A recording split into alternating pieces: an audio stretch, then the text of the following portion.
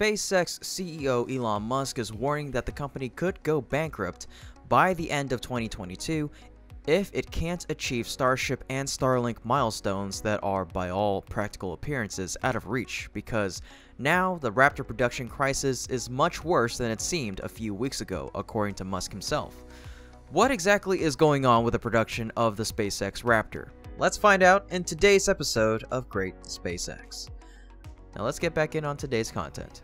A few months ago, Starship prototype SN-15 touched down on the ground, completing SpaceX's first successful test flight. Years of work led up to this point, and it seemed that the goal of getting to Mars was now a little bit closer.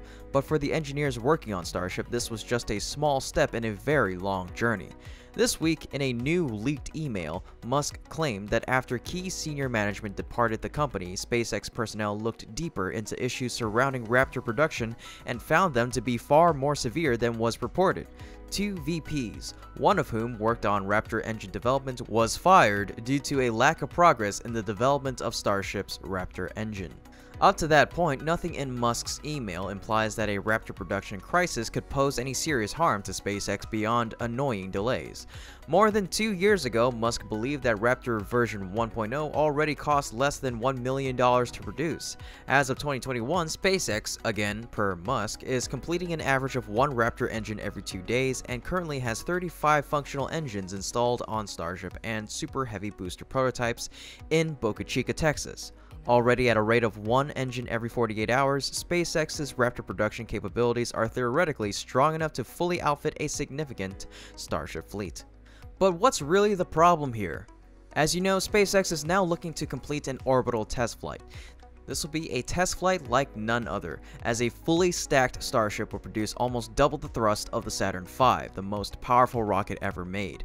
In order to produce this amount of thrust, the Super Heavy booster will have around 30 Raptor engines, lifting Starship's second stage into orbit. In order for this test flight to go well, an enormous amount of engine testing needs to be done.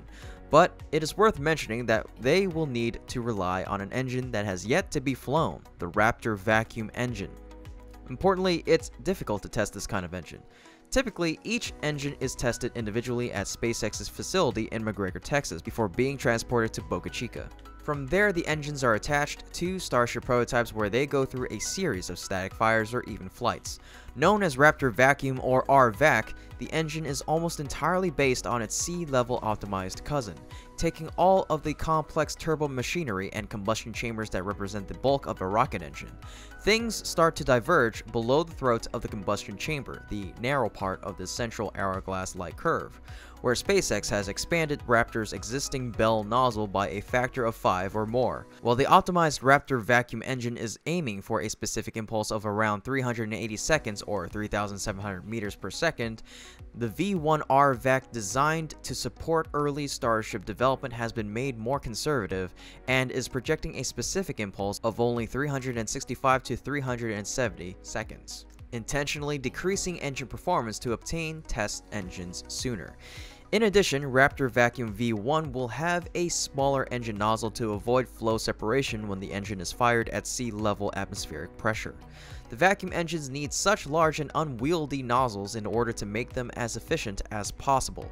In a very simplistic sense, a rocket engine nozzle directs the flow of superheated ultra-fast gases in order to squeeze as much momentum transfer as possible out of available propellant. The lower the pressure of the surrounding atmosphere is, the more those gases will expand immediately after leaving the nozzle. Giant vacuum nozzles simply try to harness the additional momentum available from that extra expansion. This is why rocket exhausts appear to spread and thin out as launch vehicles reach higher and higher altitudes. In this sense, the perfect theoretical vacuum nozzle is quite literally infinitely long. The job of vacuum rocket engineers is to find the perfect balance between that impractical theoretical perfection and the limits of real-world materials and dynamics. In theory, SpaceX's sea-level Raptor engines have already been designed to operate in vacuum conditions, while the engine's closed-cycle design and regeneratively cooled nozzle should apply well to a vacuum design. But the real problem comes when it's time to test this kind of engine down on the ground. Although it's fine for the exit pressure to be greater than the ambient pressure, if the exit pressure is much lower, the effects could be catastrophic.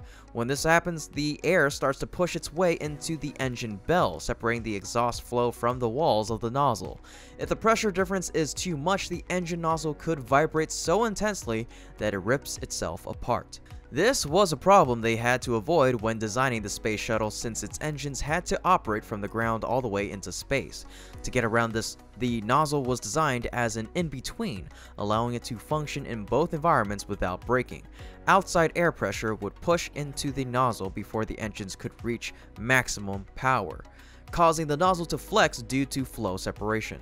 Despite the fact that this appears to be a potentially dangerous situation, the flow separation was never severe enough to damage the engine. However, NASA had to be more inventive in order to test proper vacuum engines. At a NASA facility in Ohio lies the Plum Brook Testing Facility. This is a massive test chamber where the air is sucked out till the pressure approaches that of a full vacuum. When the engine fires, a steam ejector mechanism condenses and extracts the engine exhaust from the chamber, keeping the vacuum intact.